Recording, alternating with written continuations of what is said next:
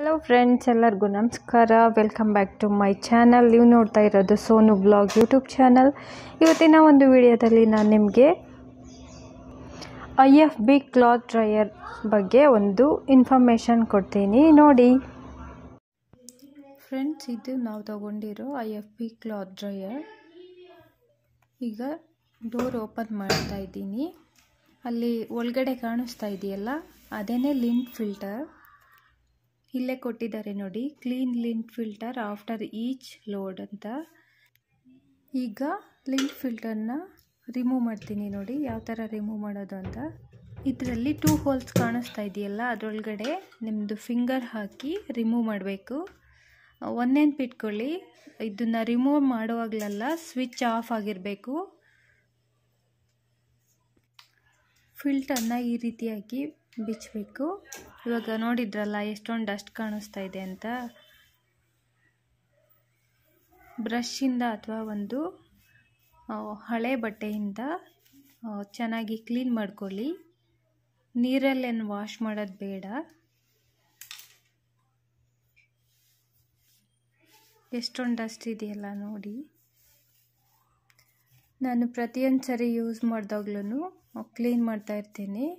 ಆವಾಗ dryer repair ಆಗಲ್ಲ. ಇದು ಸರಿ ಕ್ಲೀನ್ ಮಾಡಿಲ್ಲ ಅಂದರೆ ಡ್ರೈಯರ್ ರಿಪೇರ್ ಆಗೋ ಚಾನ್ಸಸ್ ಇರುತ್ತೆ ಬ್ಲಾಕ್ ಆಗಿ. ಮತ್ತು ಇನ್ನೊಂದು ವಿಷಯ ಅಂದರೆ ನೀವು ಕ್ಲಾತ್ಸ್ ಎಲ್ಲ ಡ್ರೈಯರ್ಗೆ ಹಾಕಿರ್ತೀರಲ್ಲ ಡ್ರೈ ಆದಮೇಲೆ ತಕ್ಷಣ ಇದನ್ನು ರಿಮೂವ್ ಮಾಡೋಕ್ಕೆ ಹೋಗಬೇಡಿ. ಯಾಕಂದರೆ ಡ್ರಮ್ ಬಿಸಿ ಇರುತ್ತೆ.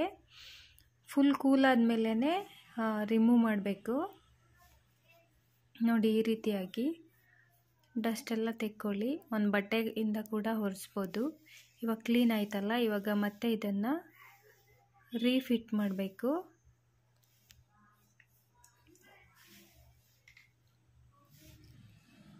ಇವಾಗ ನೋಡಿ ಮತ್ತೆ ಯಾವ ಥರ ಹಾಕಬೇಕಂತ. ಇದು ಹಾಕಬೇಕಾದ್ರೆ ಸ್ವಲ್ಪ ಕನ್ಫ್ಯೂಸ್ ಆಗುತ್ತೆ. ಇದು ಆಲ್ವೇಸ್ ಕೆಳಗಡೆ ಹೋಗಬೇಕು. ಈ ರೀತಿ ಫಿಟ್ ಮಾಡಬೇಕು. ಈಗ ಇದನ್ನು ಮತ್ತೆ ಡ್ರೈಯರ್ ಇನ್ಸೈಡ್ ಹಾಕ್ತೀನಿ.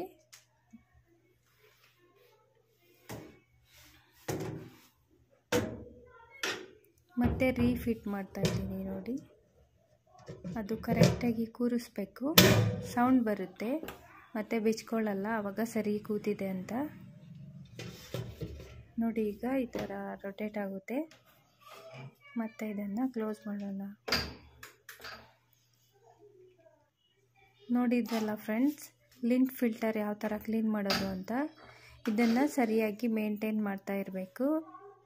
ನೋಡಿದ್ರಲ್ಲ ಫ್ರೆಂಡ್ಸ್, ಲಿಂಟ್ ಫಿಲ್ಟರ್ ಯಾವ ಥರ ಕ್ಲೀನ್ ಮಾಡೋದು ಅಂತ. ಈ ಒಂದು ವಿಡಿಯೋ ನಿಮಗೆ ಇಷ್ಟ ಆಗಿದ್ದರೆ ಲೈಕ್ ಮಾಡಿ, ಶೇರ್ ಮಾಡಿ, ಹಾಗೆ ಸಬ್ಸ್ಕ್ರೈಬ್ ಮಾಡಿ. Thank you for watching this video.